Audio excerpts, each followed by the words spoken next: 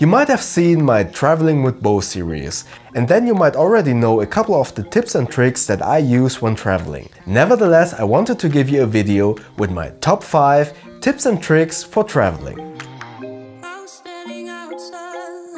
Starting with packing. I'm far from being a master in the one bag travel philosophy. But the trick that I found to minimize all of the stuff that I think I need to pack is to put everything that I want to pack on the ground in front of me. Pro tip, if you're packing gear and organize it all very neatly in front of you, that gives you a very nice picture for Instagram by the way.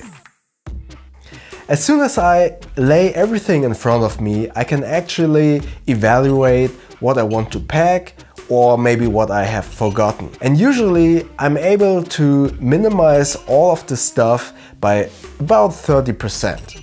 Furthermore, it is a good idea to pack in sets of outfits or if you're not too much into colors then have black, gray or just white t-shirts as they basically mix and match with almost anything. Next, stay hydrated, stay healthy, stay sane. When you're traveling by plane or train for instance, your body is submitted to a certain degree of stress. The dry climate inside the plane because of the air condition or loud noises for instance. So I find it very important to take care of yourself while you're traveling. Dry nose and therefore a dry respiratory re, respiratory respiratory system is more vulnerable to infection for instance. Especially if someone with a cold sits next to you or behind you. Therefore I use a nasal spray with sea salt water once in a while during a longer flight. In addition to that, I am wearing contact lenses. For longer flights I will opt to wear my glasses. Nevertheless, I would use some eye drops to moisten my eyes during the flight. But more importantly, you need to stay hydrated. In the airport, water is usually quite expensive. So I usually take an empty water bottle with me and fill it up with tap water after the TSA check. But it is important to check if the tap water in the country that you're traveling to is good to drink. If you're not sure about it, you can take one of those water bottles with a filter in it. So this was about staying healthy and staying hydrated. But how to stay sane? Inside planes or trains, it is usually quite loud.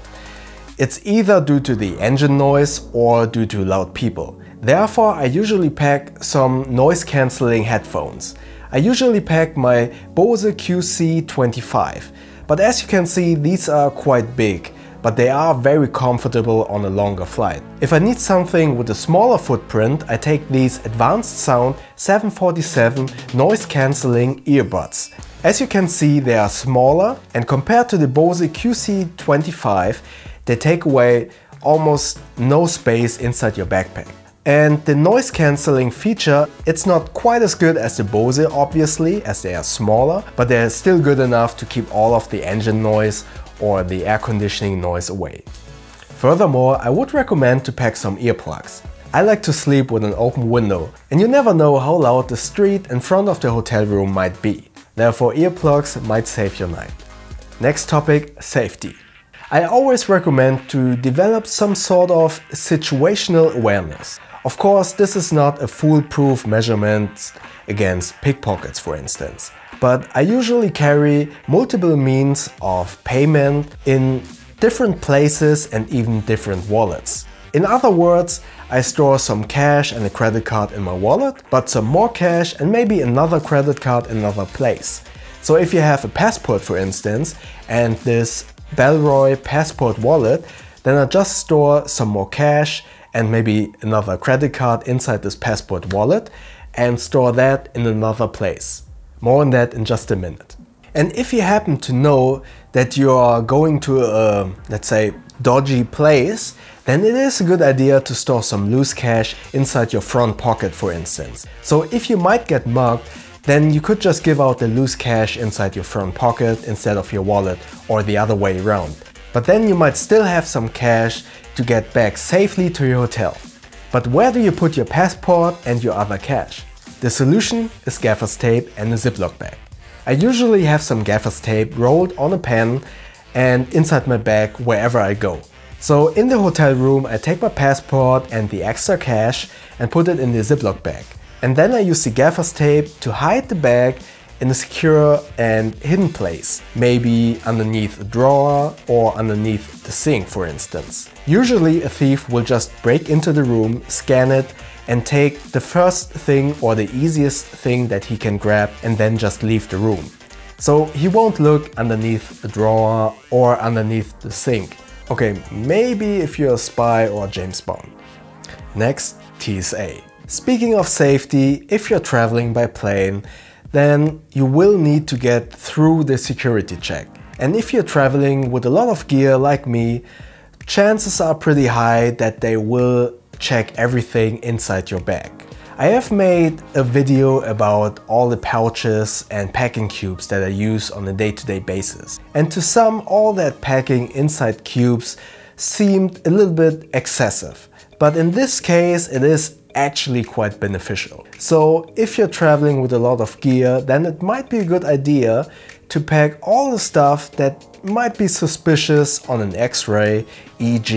metal hard drives with a lot of cables or battery banks with a lot of cables inside one cube. So before you send all of your stuff through the X-ray, it might be a good idea just to take out that one pouch with all the suspicious stuff and send it through the X-ray separately. You need to admit a bunch of cables, battery banks and metal hard drives crammed together inside the backpack might look a little bit suspicious in an X-ray.